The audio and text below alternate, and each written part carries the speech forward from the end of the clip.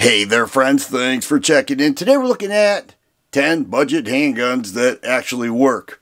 These are fine handguns right around $350 on average. None of them exceed $400. And these are handguns that I actually own. So let's get to it. When Stoeger came out with the STR9, a lot of people took notice and they really liked the price. This is the STR9C with an MSRP of 329. This has a 3.8 inch barrel, a little shorter than the original, and 13 round magazines. Deep cut slide serrations, nice trigger. Breaks right around six pounds with a very short reset but it has performed great. They now make them optic ready, and with that price, I would say that it's worth it because my experience has proven that the STR9 series is a fine series of handguns, and I like this STR9C. Many shooters wanted CZ to come out with a double stack subcompact 9mm, and they didn't do that, but they did come out with the CZ P10M, and upon its launch, it was selling for right around $400, but they dropped that $100. Now the MSRP is 299. It's a staggered seven stack magazine. It has a little bit of a heavier trigger compared to the other P10 models, looking at about seven pounds, but the reset is very short. A lot of people still love single stacks. They pocket carry them and people feel confident with CZ handguns. And I will say, this is a pretty nice shooting handgun at a budget price now. Nobody saw that coming, but the CZ P10M, it was a letdown for many people, but others really enjoy it. With an MSRP of 199 the Keltec P17 has proven to be reliable for me. I have put several rounds through this handgun, and 22 long rifle comes with 16 round magazines, a 3.8 inch threaded barrel. You can see it has a thread cap on there and that you could attach a can to it, but it has been very reliable and a lot of fun to shoot. I really enjoy this. It's the only Keltec I own. It's a hammer fired gun that is pretty nice with that very light trigger pull. 16 round mags, 199 I think it's a steal for a 22 long rifle that's a ton of fun. Not much you could say with the PSA dagger that hasn't already been said, but I will mention upon its launch, this was selling for $300 and then they expanded the line and this one is currently selling for $250.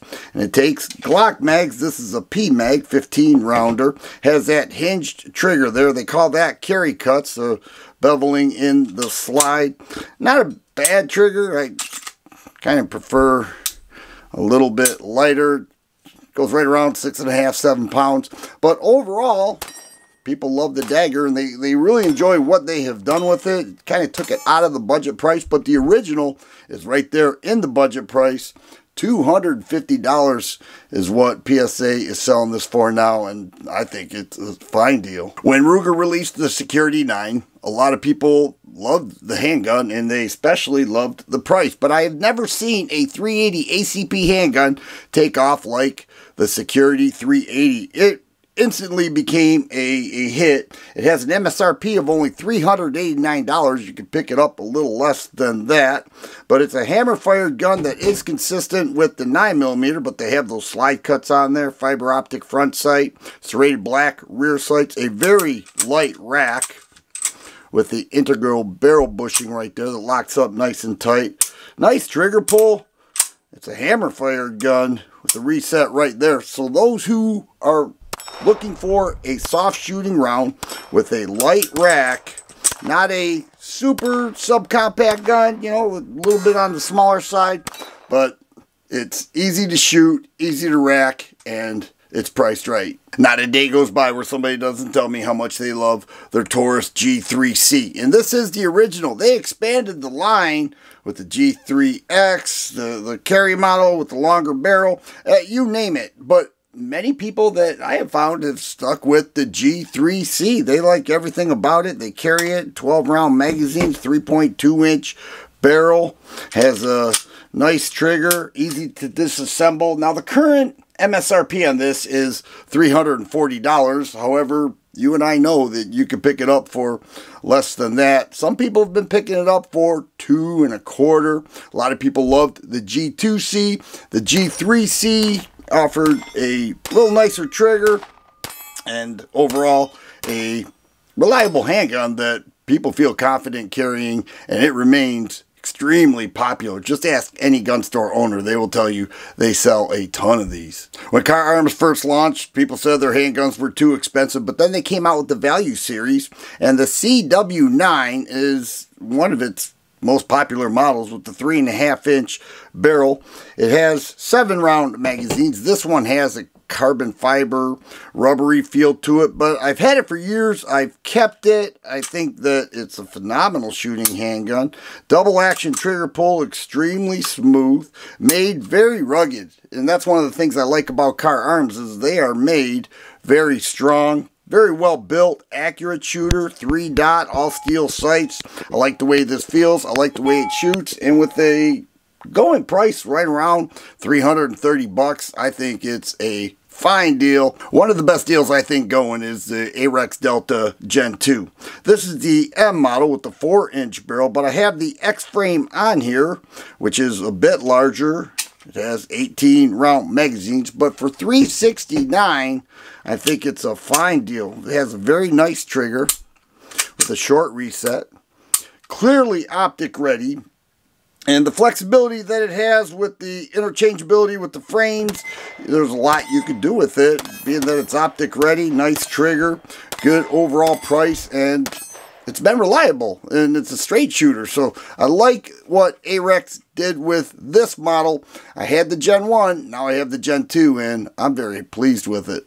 The Tisas PX9 Gen 3 models are great. Now this is the higher end model. Called the Night Stalker. Offers a ton, but the original PX9 Gen 3 looks like this, and it shares many of the same features. More of a full-size handgun, excellent trigger, nice magazine capacity.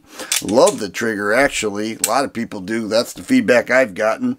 And then they're optic ready and offers a lot for the money. You're looking at $340 for a Tisas PX9 Gen 3. And the feedback I've gotten is that it's amazing. I love it. I dig this Night Stalker. I think this one is fine. But this one goes a little bit more. If you have a few extra bucks laying around, go with the Night Stalker. You won't be disappointed. The current MSRP with the Ruger Max 9 is $439. However, if you shop around for it, you can pick this up for right around $300. It has dropped significantly since its original launch. 12 round magazines.